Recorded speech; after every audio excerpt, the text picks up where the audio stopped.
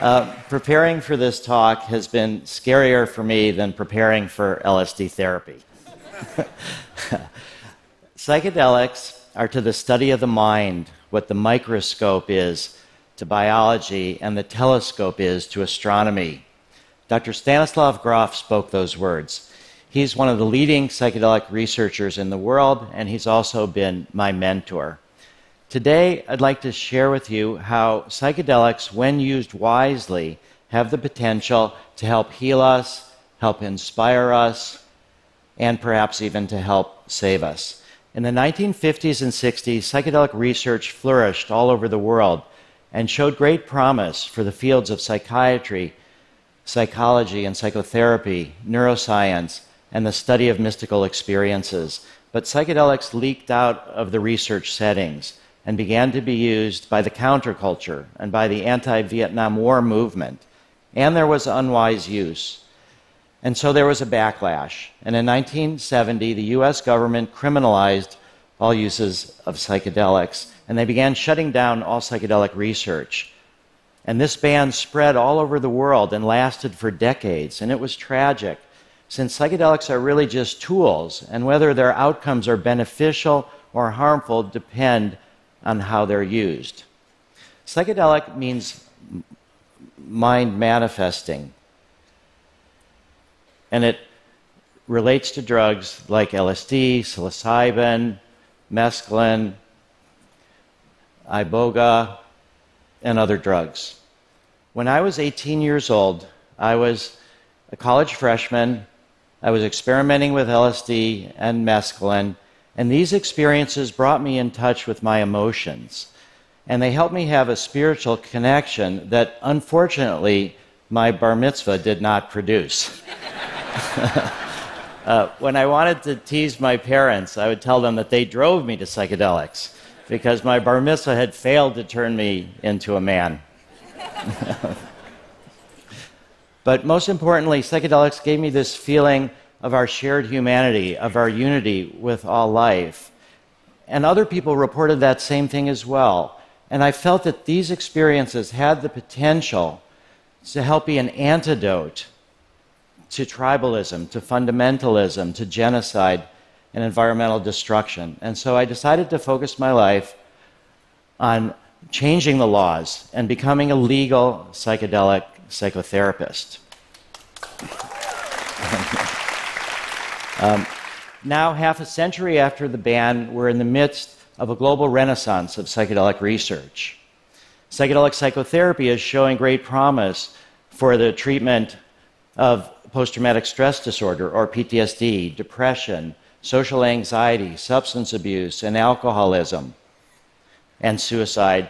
Psychedelic psychotherapy is an attempt to go after the root causes of the problems with just relatively few administrations, as contrasted to most of the psychiatric drugs used today that are mostly just reducing symptoms and are meant to be taken on a daily basis. Psychedelics are now also being used as tools for neuroscience to study brain function and to study the enduring mystery of human consciousness. And psychedelics and the mystical experiences they produce are being explored for their connections between meditation and mindfulness, including a paper just recently published about lifelong Zen meditators taking psilocybin in the midst of a meditation retreat and showing long term benefits and brain changes. Now, how do these drugs work? Modern neuroscience research has demonstrated that psychedelics reduce activity in what's known as the brain's default mode network. This is where we create our sense of self. It's our equivalent to the ego, and it filters all incoming information according to our personal needs and priorities. When activity is reduced in the default mode network, our ego shifts from the foreground to the background, and we see that it's just part of a larger field of awareness. It's similar to the shift that Copernicus and Galileo were able to produce in humanity using the telescope to show that the Earth was no longer the center of the universe, but was actually something that revolved around the sun, something bigger than itself. For some people, this shift in awareness is the most important and among the most important experiences of their lives. They feel more connected to the world bigger than themselves. They feel more altruistic, and they lose some of their fear of death. Not all drugs work this way. MDMA, also known as ecstasy or Molly, works fundamentally different. And I'll be able to share with you the story of Marcella, who suffered from post traumatic stress disorder from a violent sexual assault. Marcella and I were introduced in 1984 when MDMA was still legal, but it was beginning also to leak out of therapeutic circles. Marcella had tried MDMA in a recreational setting, and during that, her past trauma flooded her awareness and it intensified her suicidal feelings. During our first conversation, I shared that when MDMA was, is taken therapeutically, it can reduce the fear of difficult emotions and she could help move forward past her trauma. I asked her to promise not to commit suicide if we were to work together, and she agreed and made that promise. During her therapeutic sessions, Marcella was able to process her trauma more fluidly, more easily, and yet she was able to tell that the rapist had told her that if she ever shared her story, he would kill her. And she realized that that was keeping her a prisoner in her own mind.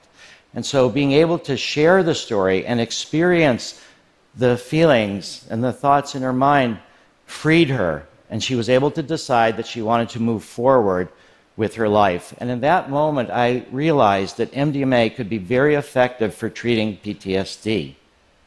Now, 35 years later, after Marcella's treatment, she's actually a therapist training other therapists to help people overcome PTSD with MDMA. Now, how does MDMA work? How did MDMA help Marcella? People who have PTSD have brains that are different from those of us who don't have PTSD. They have a hyperactive amygdala where we process fear. They have reduced activity in the prefrontal cortex where we think logically. And they have reduced activity in the hippocampus where we store memories into long term storage. MDMA changes the brain in the opposite way. MDMA reduces activity in the amygdala, increases activity in the frontal cortex, and increases connectivity between the amygdala and the hippocampus to permit traumatic memories to move into long term storage. Recently, researchers at Johns Hopkins published a paper in Nature in which they demonstrated that MDMA releases oxytocin, the hormone of love, and nurturing. These same researchers also did studies in octopuses, who are normally asocial unless it's mating season. But lo and behold, you give them MDMA and they become pro social.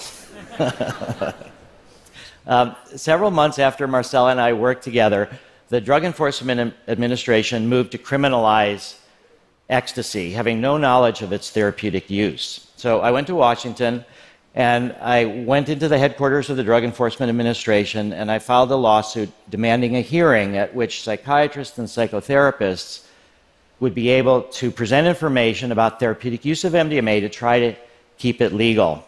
And in the middle of the hearing, the DEA freaked out, declared an emergency, and criminalized all uses of MDMA. And so the only way that I could see to bring it back was through science, through medicine, and through the FDA drug development process. So in 1986, I started MAPS as a nonprofit psychedelic pharmaceutical company. It took us 30 years till 2016 to develop the data that we needed to present to FDA to request permission to move into the large scale phase three studies that are required to prove safety and efficacy before you get approval for prescription use. Tony was a veteran in one of our pilot studies. According to the Veterans Administration, there's over a million veterans now disabled with PTSD. And at least 20 veterans a day are committing suicide, many of them from PTSD. The treatment that Tony was to receive was three and a half months long, but during that period of time, he would only get MDMA on three occasions separated by 12 90 minute non drug psychotherapy sessions, three before the first MDMA session for preparation and three after each MDMA session for integration. We call our treatment approach inner directed therapy, in that we support the patient to experience whatever is emerging within their minds or their bodies. Even with MDMA, this is hard work. And a lot of our subjects have said, I don't know why they call this ecstasy. uh, during Tony's first MDMA session, he lay on the couch, he had eye shades on, he listened to music, and he would speak to the therapists, who were a male female co therapy team, whenever he felt that he needed to. After several hours, in a moment of calmness and clarity, Tony shared that he had realized that his PTSD was a way of connecting him to his friends. It was a way of honoring the memory of his friends who had died. But he was able to shift and see himself through the eyes of his dead friends. And he realized that they would not want him to suffer, to squander his life. They would want him to live more fully, which they were unable to do. And so he realized that there was a new way to honor their memory, which was to live as fully as possible he also realized that he was telling himself a story that he was taking opiates for pain, but actually he realized he was taking them for escape. And so he decided he didn't need the opiates anymore, he didn't need the MDMA anymore, and he was dropping out of the study. That was seven years ago. Tony is still free of PTSD, has never returned to opiates, and is helping others less fortunate than himself in Cambodia.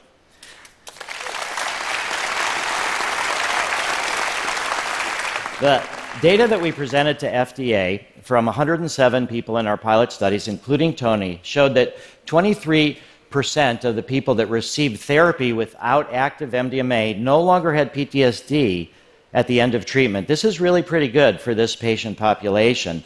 However, when you add MDMA, the results more than double to 56% no longer having PTSD. But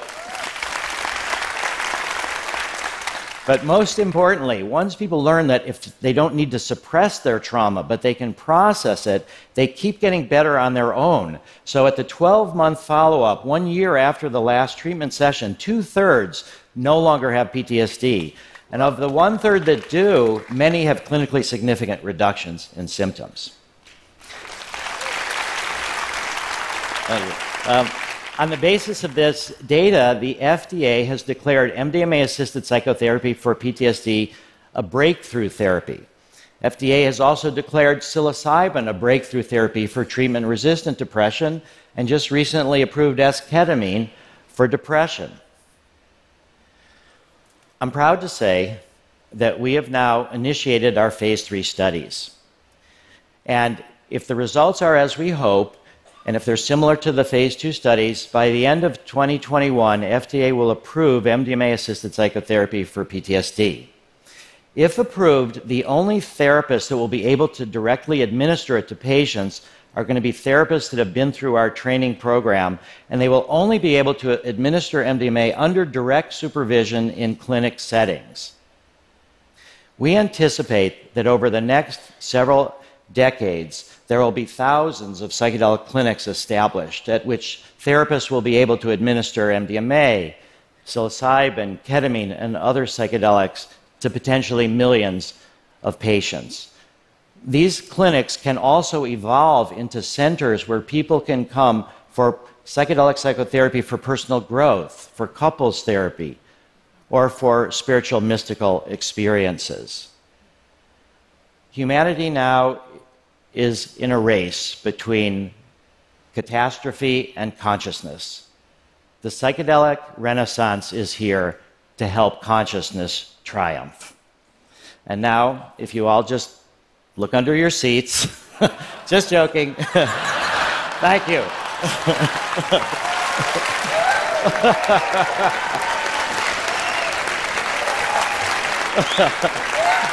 Thank you. Wow. Wow. Thank you. Well, you gotta stay up oh, for a minute. Oh, okay. Thank you so much, Rick. I guess it's a supportive audience. Yes, very. Um, They've not. many of them have also been to Burning Man. yeah, I guess so. There's some synergy. Um, so, in your talk, you talked about using these drugs to address some pretty serious traumas. So, what about some more common mental illnesses like anxiety and depression? And is that where microdosing comes in? Well, microdosing can be helpful for depression. I, I, do know someone that has been using it, but in general, for therapeutic purposes, we prefer macrodosing rather than microdosing in order to really help people deal with the root causes. Microdosing is more for creativity, for artistic inspiration, for focus, and it also does have a mood elevation lift. But I think for serious illnesses, we'd rather not get people thinking that they need a daily drug, but do more deeper, intense work. And what about outside the United States um, and North America? Is this research being done there? Oh, yeah, we're, we're globalizing. Um, our phase three studies are actually being done in Israel, Canada, and the United States. So once we get approval in FDA, it'll also become approved in Israel and in Canada. We're just starting research um, in Europe, and we're actually um, going to be training some therapists from China. That's great. We were going to do an audience vote to see if people felt like this was a good idea to move forward with this research or not, but I have a feeling I know the answer to that. So thank you so much, Rick. Thank you. Thank you all.